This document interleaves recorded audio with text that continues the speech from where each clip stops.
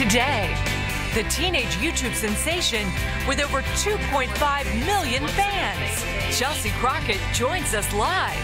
And then, a freak accident. I just like thought I was gonna die in a second. At 75 miles per hour. It actually ripped the truck in half. Watch a split second miracle unfold. You still found it in your heart to protect me. On today's 700 Club.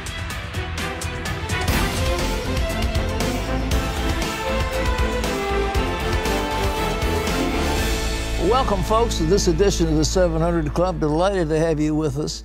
You know, it looks like the elites may be turning on the Democrats, which is a strange thing because the liberal media has usually been against the Republicans. Now, an expose in the Washington Post, of all things, talking about Fusion GPS. You said, What is Fusion GPS? Well, that is the company, the mysterious company that was behind the Christopher Steele expose and the dossier on Trump.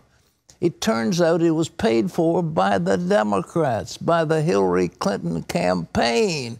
And the whole thing has been a put up, and the FBI has been dancing to their tune. And there needs to be an investigation of the FBI for their complicity in this thing. I mean, it is a scandal of major proportions, and it was featured in the Washington Post. How about them apples? Wow, that's pretty, uh, this is breaking news. Well, it, it is big time. I mean, Fusion GPS. But the thing is, uh, while that's going on, the Republicans are fighting each other. They ought to say, my enemies are in collapse. I, it's time to attack. Instead of that, they're fighting each other. Talk about it. Yeah, the public feuding among Republicans began just before President Trump made his latest pitch for his tax plan in Washington. And as Abigail Robertson reports, not everyone gave him a warm welcome. It's no secret President Trump has enemies, even within his own party. That all came to the forefront Tuesday as President Trump spoke to Senate Republicans on Capitol Hill, trying to unite the party around tax reform. But talks of unity were off to a rocky start when Senator Bob Corker made these comments ahead of his visit. I expressed concerns a few weeks ago about his his leadership and just his stability and uh, the lack of desire to be competent on issues and understand, and, and uh, you know, I, I, nothing has changed. President Trump fired back on Twitter, calling Corker incompetent and saying he couldn't even get elected as dog catcher. But the biggest news came when Arizona Senator Jeff Flake announced he will not seek re election in 2018, criticizing today's political state, saying America has lost its moorings. It is also clear to me for the moment that we have given in or given up on the core principles in favor of a more viscerally satisfied anger and resentment. Senate Majority Leader Mitch McConnell steered clear of the feuds saying he wants to concentrate on their agenda and not any other distractions. What I have an obligation to do is to try to achieve the greatest cohesion I can among 52 Republicans to try to achieve for the American people the agenda that we set out to achieve.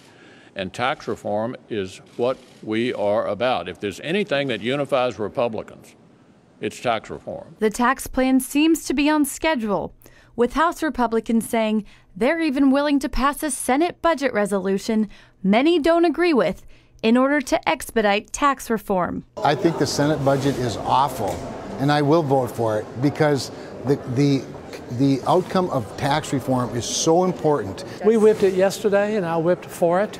It's not everything that we want, but I'm like Ronald Reagan, you take 70% of what you can now and come back for the rest of it later. Congressional leaders are trying to have a tax plan in place by the beginning of next year, knowing that if they don't, they could pay the price in the 2018 elections. Reporting from Capitol Hill, Abigail Robertson, CBN News. It is so important that they pass that tax plan, and it's a real possibility the way things are coming, they might get it done before Christmas which would be awesome. Uh, it would be a great achievement that they could go into the next year with. I mean, I, let's hope that's going to be the case. Uh, what do you think? Well, I know that is Trump's number one yeah. thing right now, but all this this fighting and this Twitter wars is really uh, oh, the, putting a wrench in everything. They'll stop that. They, they, you know, I think Mitch. I, I, really have a lot of confidence in Mitch McConnell, yeah. and I also have confidence in the intelligence of these people. They understand they've got to do it. They don't. It's not an optional uh, extra. It's not something that they can put aside and not do. They screwed up on health care. They had said for seven years we're going to repeal and replace Obamacare. Then came the crucial vote, and John McCain uh, faltered, and a couple of those other the women, uh, one from uh, Maine and one from Alaska, voted against it, and so the, they couldn't uh, repeal it. But in terms of uh, tax relief, they can't go before the American people saying we've raised your taxes or we haven't cut your taxes. And the Democrats can't stand against it. If they want to go before the American people and say, well, we're the ones that kept you from having a break uh, of, of, two or three thousand dollars a year in your taxes, we kept that from happening. Aren't you proud of us? So the answer is you're going to be kicked out of office, and they all know it. So it's happening, and uh, uh, we're very delighted to see that. But it very, it very possibly could go through before Christmas. And if that's the case, it would be a wonderful Christmas present for the American people. Well, uh, as I mentioned earlier in this show, investigations into the Trump administration have routinely been in the headlines. But now Democrats are under the microscope. Can you believe that? John Jessup has it. That's right, Pat. Congressional Republicans have launched two investigations, including one involving a, a deal that gave Russia control of 20 percent of the U.S. uranium supply. And there's a new report about who paid for the controversial research against candidate Donald Trump in last year's election. Mark Martin has the story. Hillary Clinton's presidential campaign is once again in the spotlight after the Washington Post report that the campaign and the Democratic National Committee helped pay for political research into Donald Trump. That research was carried out by a group called Fusion GPS, and it resulted in the now well known dossier, which contained allegations about Trump's connections to Russia and possible collusion between the Kremlin and Trump's campaign. A person familiar with the matter who spoke on condition of anonymity provided the information. Trump has repeatedly said the document is not true, and he recently questioned on Twitter if Democrats or the FBI assisted in funding it. The person familiar with the matter said an attorney for the Clinton campaign and the DNC, along with his law firm, brokered the deal. The information has been used in the probe into Russian meddling in last year's election by special counsel Robert Mueller. And House Republicans have started two new investigations, one into the Obama administration's Justice Department, and the other involving Hillary Clinton's use of a private email server while she was Secretary of State.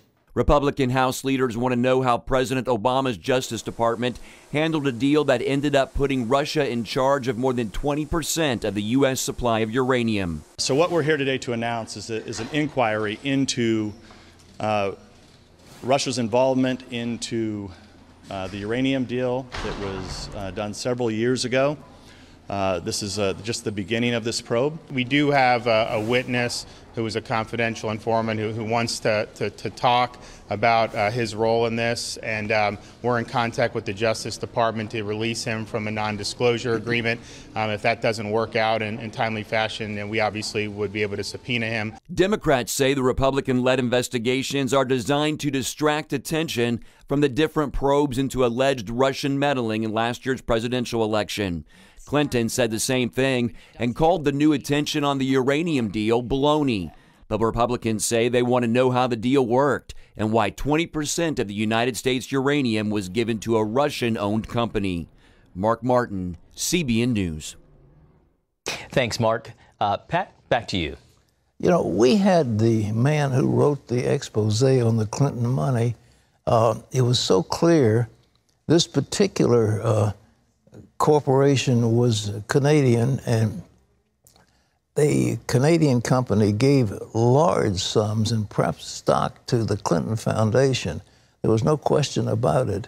And this uranium one was uh, one of the permutations of that company as they got more and more of the uranium. Uranium is crucial, you know, it's crucial to build atomic bombs. And without uranium, you don't have anything. So by giving up the American sources of uranium to the Russians, uh, we have crippled ourselves in the future. And th- this was a payoff to the Clinton Foundation. And the, the, the uh, research was very clear on it. And it was out a long time ago, and nobody's been talking about it. But suddenly it's, it's gotten, because it's become uranium one. It wasn't uranium one initially, it was something else. It had a different name. And uh, the, the uh, person who was involved in it gained several billion dollars. We're talking about big money. Uh, and he, again, was a contributor of, of, huge amounts of money to the Clinton Foundation, while uh, I think Hillary Clinton was Secretary of State, uh, at least just before that. But in any event, the, the, whole thing just stinks to high heaven. And it looks like the FBI with James Comey is seriously compromised. And it looks like Mueller was involved. Uh, you know, Holder was uh, the Attorney General. Uh, that whole bunch was compromised. And the whole thing looks tainted. And it looks like to me that they are not qualified to continue this uh, probe. And I think it's time for the president to tell his uh, Rosenstein and those others in his administration the special prosecutor has got to go. Uh, it's time to cut this thing off. And I believe that you'll hear in the next well, few months that Trump has said enough already. You haven't found one thing. We weren't complicit with any Russians. This whole thing was a scam paid for by the Democrats, and we want to shut this inquiry down. And I think uh, maybe some of the congressional committees will come up with some different answers, but it'll all be supportive of Trump. And I, I, th I think it's time to stop it because the FBI is seriously compromised. Comey and Mueller together, as along with Loretta Lynch and those in the Justice Department, seriously compromised. Well, there's a good news out of the FBI, however, and John has that report, so it isn't all bad. Here's the good news from that agency. That's right, Pat. On the flip side, this year, a special FBI trafficking effort has saved 84 children from a life of slavery and abuse. Heather Sells gives us this behind the scenes look at an annual trafficking sting that leads to rescues across the country. The FBI partners with state and local authorities to go after traffickers of children right in our own backyards. Perhaps the most disturbing case this year the sale of a three month old baby and a five year old for $600. Agents scoured online sites and ads to discover many of the children being trafficked. Their search took them to hotels where they found kids, along with lots of cell phones, cash, and even stuffed animals. Our primary goal is really to recover children, and then not only from the recovery standpoint, but providing them victim services to get them back home or back integrated into society. Victim specialists working with the officers help assure the rescued that they're safe and that help is available. You're okay, all right? You're not in trouble. Trying to figure out what their background is. Are they runaways? Have they been in the system in foster care? Um, do they have any kind of juvenile delinquency history? Um, what does their parent life look like? Do they have any support? Have they been in school? She shut the door and started walking behind the RV. Agents also located victims in casinos and at truck stops and they found children from other countries. They can help you stay in the United States or go back home to family. So you don't have to deal with the scary stuff. Victim advocates quickly point out these operations only make a dent in the problem. Although no one knows the real number, it's believed thousands of children are sexually exploited in the U.S. each year. Those rescued face a long and hard recovery, and advocates maintain the U.S. does not put enough resources into caring for these children. Their trauma is often compared to post traumatic stress disorder, which requires a host of services and the grace of God to overcome. Heather Sells, CBN News. Thanks, Heather. Well, the case of a baker who wouldn't make a cake for a gay marriage celebration is likely to be the biggest religious rights case in this Supreme Court term. Now, those who oppose Jack Phillips, the baker, accuse him of discrimination against gays. But as Paul Strand reports, some who have suffered discrimination in America for centuries are offering Phillips their support. Some folks say when Colorado baker Jack Phillips refused to bake a cake to celebrate a gay wedding, that was the same as segregationists in the South refusing to serve blacks at lunch counters. But others say there's a whole different side to the story. We gather in support of Jack This group of civil rights leaders has come together to insist that Jack Phillips' refusal as a Christian to support gay marriage isn't even close to the kind of discrimination shown against African Americans in the past. They've launched a website, WeGotYourBackJack.com. Janet Boynes lived as a lesbian for 14 years, but came out of that lifestyle. I am very concerned that the LGBT activists have hijacked the civil rights movement for African Americans. The civil rights movement of the 50s and 60s was a movement to secure for African Americans the basic privileges and the right of U.S. citizenship that whites and others already had. Homosexuals, on the other hand, have always had the rights. They continue, however, to demand special rights based on their sexual behavior. This is based on a sin and a faith uh, issue. These folks point out the real discrimination here isn't against the gays, but the religious believers. A person, according to their faith, should not be compelled to take part in what they believe is a sin. If you don't allow a person to live by his conscience, you're discriminating against a Christian. Not only are they coming against him, but they're coming against the uh, Constitution of these United States of America. And Henderson warns that limiting someone's freedom of religion goes against America's principles. When we start to infringe, infringe upon another person's rights, then we have taken away the freedom that America offers. Sexual behavior is not the same as skin color. I could change from gay to straight, but I cannot change the color of my skin. It is an immutable, unchangeable characteristic. I resent having my race compared to what other people do in bed. Paul Strand, CBN News, the Supreme Court. And Pat, a lot of people will be paying close attention to this case when it goes to oral arguments in early December. No question. I've been wondering how long it's going to take the black folks to say just exactly what those people said. You know, this is skin color, it's a different matter. The one is a preference of how I'm going to perform sex acts. And to give that class of people special privileges beyond uh, what you would normally expect uh, is wrong. And, you know, the Constitution, the First Amendment is so clear. Congress, of course, it's, it's Congress, not the states, but Congress will make uh, no law respecting an establishment of religion or prohibiting the free exercise thereof. We can't establish a religion, nor can we prohibit the free exercise of it. And when this is done on the federal level or by the state level, by uh, this is a state action uh, against these bakers who said, we will not participate in homosexuality. And yet the state uh, said, we're going to fine you unless you do. And what these, these uh, black folks are saying very, very clearly is that, look, what we were fighting for was basic rights as Americans. These people are asking for special privileges. And I don't think we should give it to them. But it's going before the Supreme Court. And I believe with the Constitution of the Supreme Court as it is, that they'll come out, come down on the side of the bakers. But we'll have to see. John. Well, Pat, in health news, the rate of cancer cases tied to being overweight and obesity is on the rise in the United States. The director of the Centers for Disease Control and Prevention warns while the rate of other cancers has dropped in the last decade, cancers linked to being overweight have been climbing. CDC Director Brenda Fitzgerald writes on FoxNews.com that even though two out of three adults weigh more than they should, Fewer than half of Americans know that being obese raises their risk of cancer. And Pat, she also adds that avoiding gaining weight is one of the best ways to stay healthy.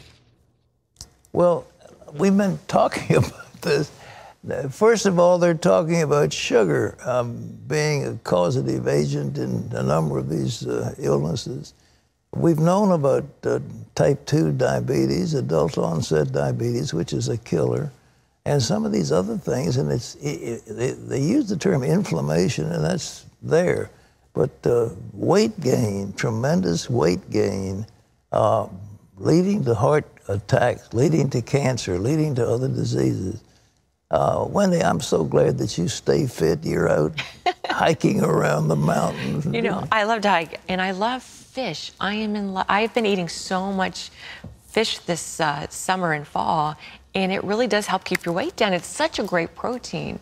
I have a friend who catches a lot of flounder, and I'm, and I made, and it's so easy to make, and it Yeah. cooks so quickly, and you feel amazing after. So if you just have your fish and your salad, and you still can have dessert if you have, don't have bread. And I was just, I told you in Canada.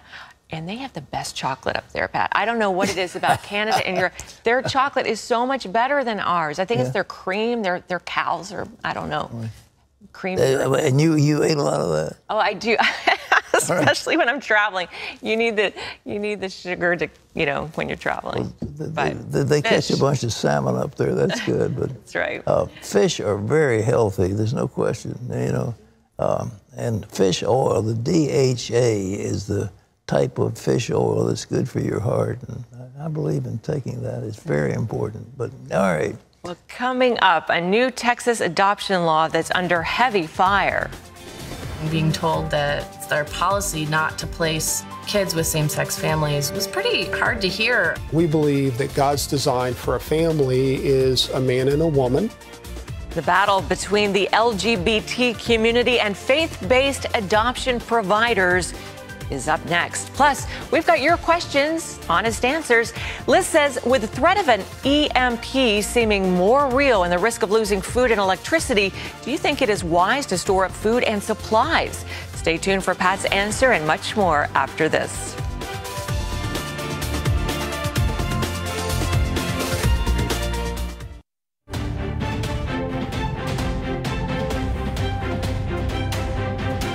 A new law in Texas protects faith based adoption agencies if they won't place children with same sex couples. Charlene Aaron visited one agency where she learned why the legislation is considered a victory.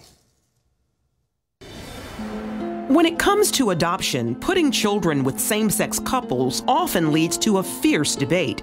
This Michigan couple is suing the state after two Christian adoption agencies turned them away because they're gay. I'm very lucky. I have very supportive friends and family, so and I work in a very supportive environment, so I've I really have not faced any discrimination over being gay. So calling the agencies and being told that it's their policy not to place kids with same-sex families was pretty hard to hear. In order to prevent those lawsuits in Texas, lawmakers passed legislation that would protect Christian adoption agencies for refusing gay couples. Right now in Texas, there are more than 30,000 kids who need to know the love of a family. Faith based operations make up 25% of the child placing agencies in Texas. Have you considered becoming a foster parent? Over the past few years, many stopped taking cases from the state's foster care system, fearing their biblical view of marriage would clash with the LGBT community. Your religious convictions should not deny you the opportunity to care for children. Buckner International is an evangelical charity that serves more than 1,000 Texas children each year. There are just not enough places for them. And here in Texas, we've had children who've had to sleep on the floor of offices because there was nowhere to take them that night or the next night.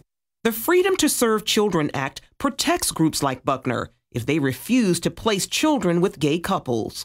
We believe that God's design for a family is a man and a woman. That's our biblically held belief. And so, based on that, and with a, number of other faith based providers here in Texas, and obviously with the support of the legislature and the governor of Texas, uh, we have been able to secure this extra layer of protection for us to be able to really just live out our biblical convictions. The law has drawn fierce backlash from the LGBT community, and the state of California has even banned state sponsored travel to Texas, citing discrimination based on sexual orientation. The discrimination claim has been expanded to include seven other states. To travel to these states at state expense would mean that we would be using taxpayer dollars to support these states. And we think it would be an offense to all those individuals in America who feel the scourge of discrimination. It affects the children because there's so many other couples like us out there who want to provide a home for these kids and are being told no because of this. Supporters of the Texas law disagree. Because at the end of the day, what we're trying to get is more homes. And I don't think this prevents home, more homes from coming from any sector of society from coming to the table. Christians who feel their beliefs on marriage and family are increasingly attacked see that as a major victory for religious freedom. Collins maintains it's also about saving lives. For us, what it comes down to is what about the children? Do they win? Is this a win for the children, not for any group or organization? It really is about the kids. He's just thankful the law allows them to continue helping the state's most vulnerable. We believe this is a very inclusive law. We're not saying in any way that some people are bad and shouldn't be parents. We're just saying this is what we believe. These are sincerely held religious con- convictions that we have, and we want to continue to be able to do what we've done uh, for 138 years now. Charlene Aaron, CBN News, Dallas. Well, they say don't mess with Texas. The Texans are doing a good thing, and we we applaud Texas. All right, let's take some questions. Yes, we got some questions here. Let's start with Liz. With the threat of an EMP seeming more real and the risk of losing food and electricity, do you think it is wise to store up food and supplies? Uh, well, uh, uh, electronic magnetic pulse is an EMP, and the threat of one is very real. Uh, the thing that I have urged, and I urge now, those in authority in this nation to harden our uh, grid.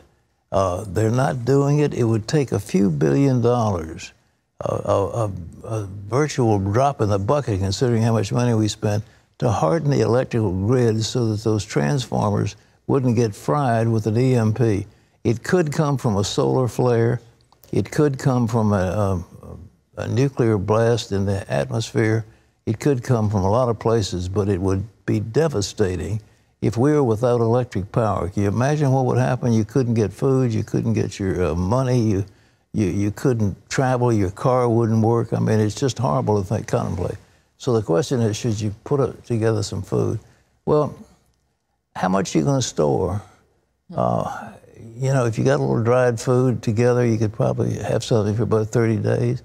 I think having a generator is a pretty good move. I think if you could have a portable generator, something to make electric power, that would be a lot better than storing up food. But uh, you can't possibly get enough food to take you past a couple of months. And uh, you say, well, the crisis might be over then. Well, wouldn't hurt to have a little something yeah. stashed away. But you need a source of water, but you need, if you could have a generator, that would be smart. All right. A few cans of tuna won't hurt, right? That's right. All right. I have been a Christian my whole life and was raised in the church. My faith has always been strong, and I've always heard God's voice so loud and clear, but lately I've been struggling to hear his voice. And I find myself going in a circle with one foot in the world, one foot walking with Christ. I can't stop sinning on my own. I have never had so much anxiety, depression, and fatigue. I really want to know my purpose in life and really want God to speak to me again. Can you help me, Amber? All right. I recommend, Amber, that you get your Bible and that you take a pad of paper and a pen and you spend a day or two uh, in prayer. And the first thing you do is you think about yourself. What sins have you committed? And you write them down one after the other on a piece of paper. All right? And then you say, Lord, I ask you to forgive me for these sins and I ask to be cleansed of them. Then you take that piece of paper, you ball it up, take a match and burn it up, and say, All right, I'm now they're under the blood, and I'm going to live for the Lord. And then you begin to live for Him, having a conscience cleansed of dead works to serve the living God. You, otherwise, you know, your sins have, have well, your heart, your heart gets hardened and you need to break up your fallow ground. That's what I'm talking about. All right, go ahead. Good word. All right, Sherry says, a few days ago, I was lying in bed and I prayed for forgiveness and asked the Lord to save me. I confess that I am a sinner and that I accept Jesus into my heart. I didn't say it out loud, but rather more of a whisper in my head. As I was praying, I had a tingling sensation travel through my body from head to toe. Is this the sign that I'm truly saved? I've always heard that when you're saved, you will know. I don't know if I am, and how do we really know? Well, how you really know is whether you love the brethren. You really know if you want to uh, keep the commandments of God. You really know uh, that you've been born again, that you serve the Lord. That's what you really know. But I mean, I, I don't know about tingling and stuff. I mean, maybe the Holy Spirit came into you and gave you a physical manifestation. I don't think we need to have that. Uh, we take it on faith. But if you had something different, I mean, maybe the Lord touched you and that was the power of the Holy Spirit. All right, one last question. This one's from Reverend William. He says, I told a church family last year that their teenage daughter should not be counseled by a male secular counselor. Last night, I found out the teenage girl is back in secular counseling with another male, male counselor. I told them again, stop. She needs to be counseled by a female Christian counselor. Do you agree? Uh, I hate to say I, I don't really agree with that. I mean, I don't know why you have to have a female counselor. If, if you did, you'd, you'd rule out a whole lot of the, of the pastors who are counseling people. That's true. The idea of having a Christian, yes. I think to, to, to go to a secular counselor and have secular advice, I mean, uh, these counselors may say, go have a, a, an affair, go have a rip roaring affair and, and uh, have sex. I mean, they do that, you know. That's a way of, of relieving people of the, the uh, built up uh, guilt feeling or whatever they have. I mean, you don't want to be uh, counseled by somebody like that. But in terms of male and female, I, I don't know anything in the Bible that says that's got to be, and I, I, I, don't agree with it. Being a Christian is the, is the key, not whether you're male or female. Exactly, male or female, because a lot of pastors, I mean, you don't want to rule out all the godly pastors who are trying to help their congregation. All right, what's next? All right, up next, a young driver runs off the road and he and his girlfriend head straight towards concrete pillars. We hit the fourth pillar and it actually ripped the truck in half and it shot us up into the top. We did a 360 and landed back at the bottom on the fifth pillar. I just like thought I was gonna die in a second. Mm. See how they miraculously survived this horrific crash with no injuries after this.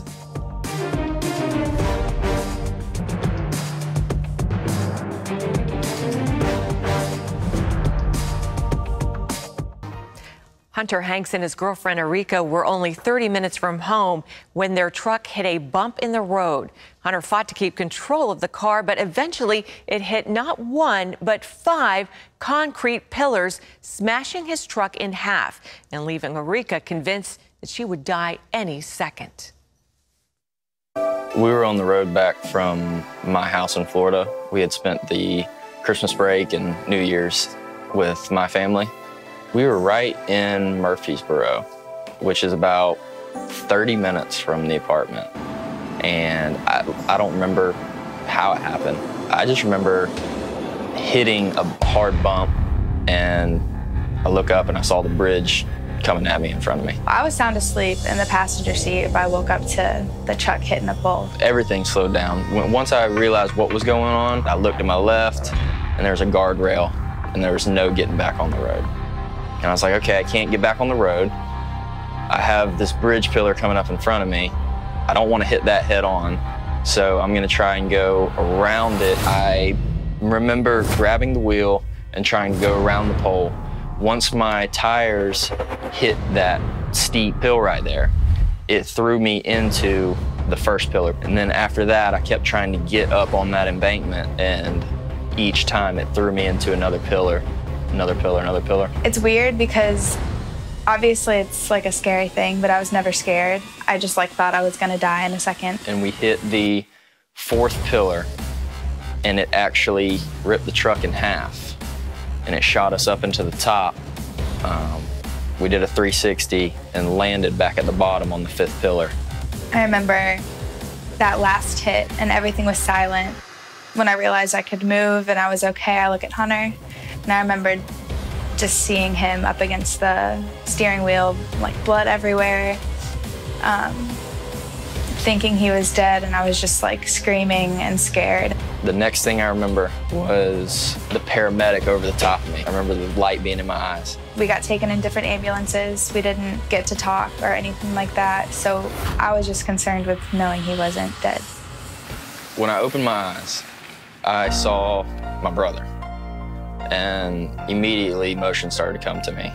And once I got my bearings together, I was like, where's Erica? Somebody needs to show me Erica. Hunter kind of like snuck out to come see me. He just came in, and um, right when I saw him, I just tears because he was walking. As soon as I walked in and I hugged her, my brother took video of it, and later he went and screenshotted some of the moments in that video. My goal with posting the story um, was to add some love to the timelines and like show the miracles that happen even though these bad things happen every day. At this point, I'm still like, okay, well, we lived and we have nothing wrong with us, so it can't be that bad. And then I went and looked at the truck and I was like, how did we live through this? And it was like two bubbles right in the cab of the truck. The back seats were crushed. Every, everything around the truck was crushed except for our two seats. And even looking at the pictures, I can't really look at it for too long. It's hard because I go back and forth from being thankful to being like, like cringing. Just seeing the truck, you like looking around and seeing how my side was untouched and how Hunter's was completely destroyed. Before the wreck, I always found myself wondering, all right, well, I'm not this, you know, great Christian. If something ever happened, why would God protect me? After everything that happened, I found a very overwhelming peace that, wow, I failed you every single day leading up to that wreck, that New Year's Day. And you still found it in your heart to protect me. Everyone falls short of his love. No matter what, he's still going to be there to catch you when you fall, to protect you when things go wrong. When you are stressed out or um, scared of something or about to die, like Hunter and I, there's not one moment where God's not there. I want people to see that through the absolute worst of times, He hasn't left. Wow. God was with them. Incredible, Pat. Incredible to see that truck and know that they Unbelievable. are walking around. Yeah. All right. Okay, go. listen to this. We've got uh, an answer to prayer here from Brenda from Connellsville, Pennsylvania. She'd been suffering from a urinary tract infection for weeks. One day, she and her husband were watching the 700 Club when she heard you give a word of knowledge, Pat, saying, I believe your name is Brenda. You have a urinary tract infection, and God has just healed you. The infection is going. You will have no problem anymore. God just healed you. Brenda's husband said, Honey, that's you. Did you hear that? They claimed the word of knowledge, and immediately the pain and burning was gone. She has had no problems since that day. Praise, God. And I didn't know, You don't know Brenda. Brenda, do you, in Pennsylvania? Great. All right, here's an email from Susan, Wednesday, October 18th. She said, I was watching this program, and Wendy said somebody has a very uh, painful hip due to arthritis. God is healing you. Said, I've been suffering with a burning pain in my hip for several months. I live in a three story house and was not able to walk up and down the steps. And I said, Yes, Lord, I claim it. The next day I got out of bed. I just walked straight down the stairs, had no pain. next day I was speaking to my sister on the phone, and she said she heard the same word and claimed it for me. Oh, praise God. Isn't that marvelous? I love it. All right, folks, uh, we want to pray for you. Let me get down here. So we're going to hold hands. We're going to believe God.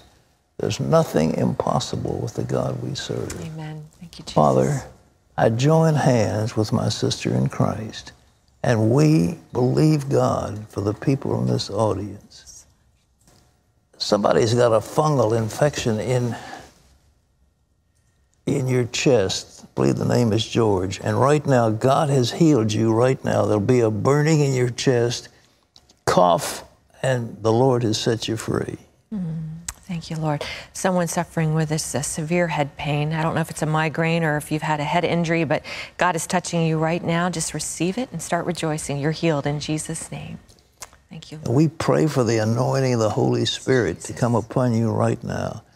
Everything in, in your insides, your inner, all infection is going right now. There are a number of people that have infections, uh, and the, the infections are being burned out of you. You'll feel fire in the middle of your being, and you are free from all the things, the colitis and the other things that have bothered you. You are healed from that right now. May the Lord's anointing rest upon you, and may the glory of the Lord be upon us. And we pray, Lord, right now for our nation. Yes. Lord, we know we're in dangerous times, and we're being threatened by external foes and internal foes. Give us peace and harmony as a nation. Bless our leaders, give them wisdom as they make decisions that affect us all. In the name of Jesus. Jesus. Amen. Yes, amen. I was just sensing that too, that a lot of people are just needing peace right now, a lot of anxiety, and, and the, just receive it. The Lord's touching you right now with His peace.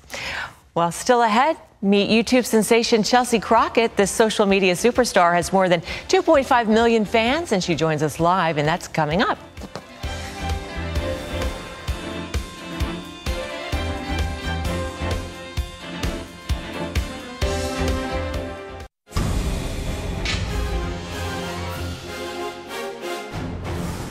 Welcome back to the 700 Club.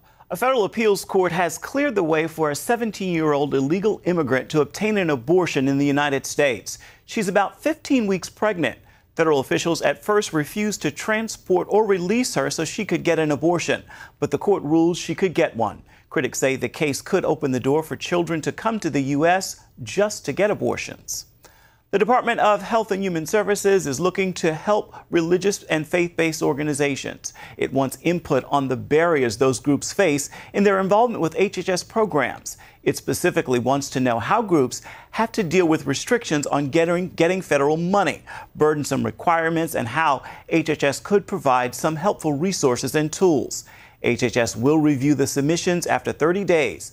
The request comes a few months after President Trump signed an executive order to promote free speech and religious liberty. Remember, you can always get the latest from CBN News by going to our website. It's cbnnews.com. We'll be back with much more of the 700 Club coming up right after this.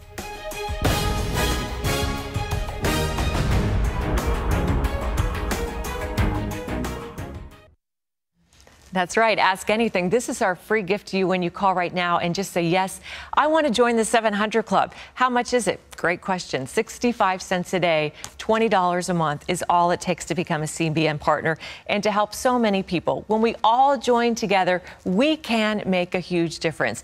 If you're a fan of the show, if you like, maybe news is your favorite part, maybe you love the fact that we dig water wells for people in, in all parts of the world. Whatever it is that you like about CBN, if you want to be a part of it, it's only 65 cents a day, and we need your help. So please go to your phones right now, the number on your screen, 1 800 700 7000, or you can log on to cbn.com. It's a great and easy way to give there. And again, when you do that, we're going to send you Pat's great new teaching called Ask Anything. These are biblical answers to some of today's life's most probing questions. And I got to tell you, it's pretty entertaining too, and you won't believe some of the things people ask. You want to get this, it's our free gift when you call right now and say yes.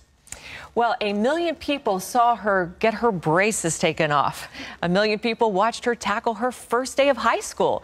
And a million people saw her go on her first date. Hmm, not sure I'd like that. Well, since 2011, Chelsea Crockett has lived much of her life on YouTube. And what started as a 13 year old's attempt to break summer boredom has become a brand with a million and a half subscribers. 19 year old social media sensation Chelsea Crockett doesn't agree with the media's standard of beauty. She believes that every girl needs to know that beauty comes from something much deeper. To not look on the outward appearance. Looks are going to fade with age. In her book, Your Own Beautiful, Chelsea offers beauty tips and inspirational advice to help girls find their true identity, apart from today's perfect driven culture. Please welcome to the 700 Club for the first time, Chelsea Crockett. Chelsea, so nice to meet you. Nice to meet you too. I love your red dress, Thank gorgeous. You, like yours. no, you. We look like Christmas. yeah, we do. Christmas. It's fall.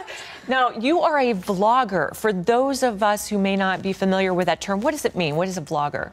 Well, a vlogger is pretty much anyone who puts out a bunch of video content online, YouTube in particular, and a lot of young people who are growing up in today's social media world puts out a lot of YouTube videos nowadays. And you started when you were 13 and you're 17 now?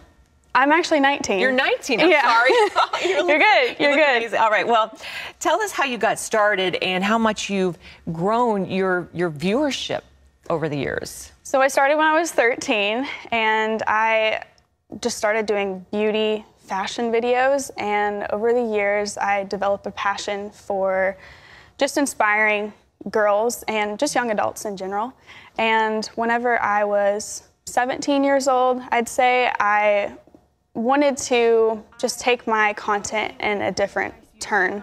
And I. What turn was that? I really just formulated my relationship with Christ Mm. and I wanted to share more of my faith with the world. And so that's what I did. And that scary? It was a little bit because I got different reaction from people. Yeah. I got hate comments, but then I got a lot of encouraging comments. So Yeah, how um how, how did you handle the hate comments when they started to come in when you started to be more vocal about your Christian faith? it, it wasn't easy. I mean, I went in my room sometimes and I was like, Yeah. I, I didn't know how to handle it. But then I tried to shift that into encouraging and uplifting myself because then I realized that persecution is actually a sign of people taking that in and taking that to heart. It's kind of a good sign, actually. Yeah, you know, it says that in scripture. Yeah, it says that in Yeah. scripture that it, it's a good thing. And so um, I, I just try to reflect on that and, and change it Okay, so you're 19. You've been doing this since you were 13. That's six years. Um, do you ever feel like, you know, keeping your online content going, that's very time consuming. Do you ever feel like you're missing out on real life because you're always posting? No, I actually don't. I, uh, in high school, a lot of people used to ask me that question because there's so much that you could do, like going to high school games and all that stuff. But I would set aside like two to three days a week to do all that stuff. And then I would say, Dad, Mom, like I'm going to the high school game tonight. like I'm not doing anything else. And I would just go out and have fun with my friends and go to Denny's at 1 a.m. and have fun.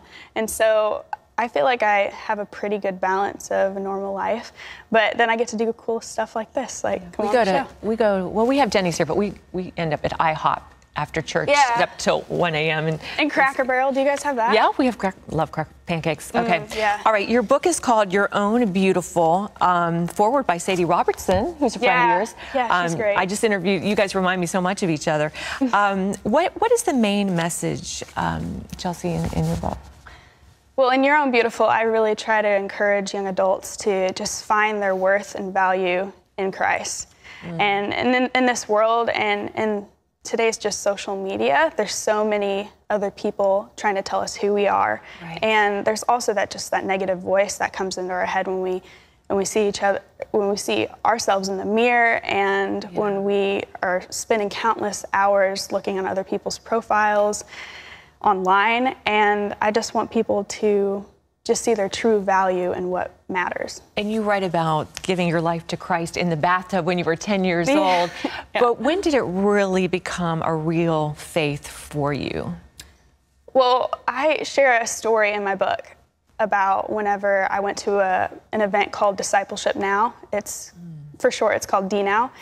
and I had a moment with a bunch of my friends where we were in a room and we were just saying all these struggles that we were going through with our family and with each other personally. Mm.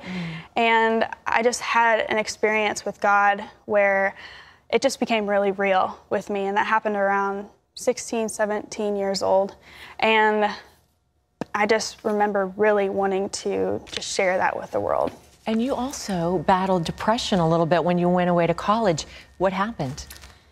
So last year around this time, I was going to go to California and, you know, live the dream and document it online because it seemed like a lot of YouTubers do that and I wanted to share that with people.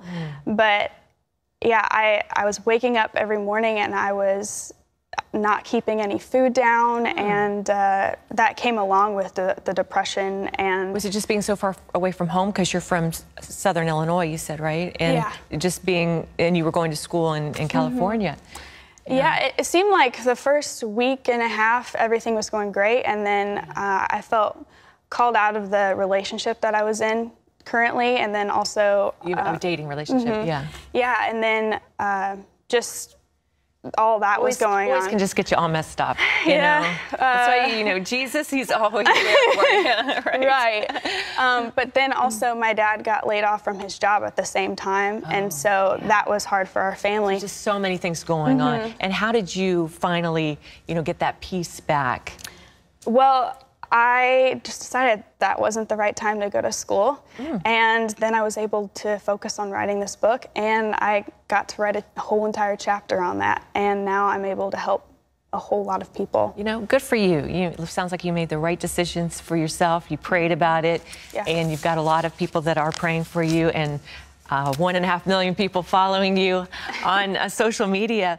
Um, well, you're an inspiration, and you're a beautiful young woman. Thanks for sharing your journey, Thank which you. is. Um, just beginning. All right. Well, to learn more about Chelsea, pick up her book. It's filled with beauty tips and spiritual advice. It's called Your Own Beautiful, and it's available wherever books are sold. Plus, you can watch our social exclusive interview with Chelsea. Just go to facebook.com slash 700 Club, and you will see a great interview with our social media team as well. Well, thank you so much. We have a beautiful scripture for you today from Psalm 91 For he shall give his angels charge over you to keep you in all your ways. From Psalm 91, one of my favorites. Well, tomorrow, World Series coverage you won't see anywhere else. Until then, from all of us here at the 700 Club, have a wonderful day and night. We'll see you tomorrow. God bless.